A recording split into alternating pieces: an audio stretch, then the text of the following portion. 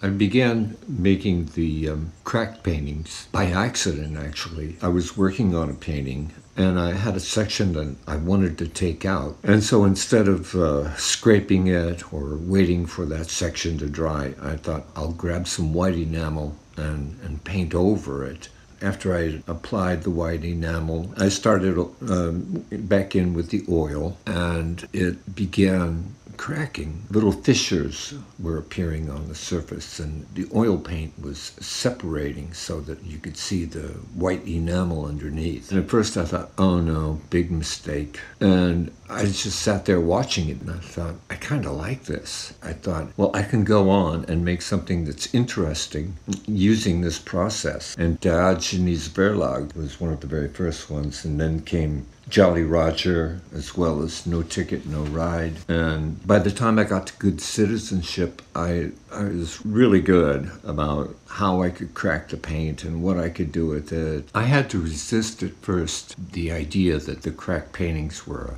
a kind of gimmick. And I began to think of it in terms of the phenomenon and the materiality of paint. I went on to also think about them in terms of being an allegory, the paint separation being a signage for just division, intrusion, separation.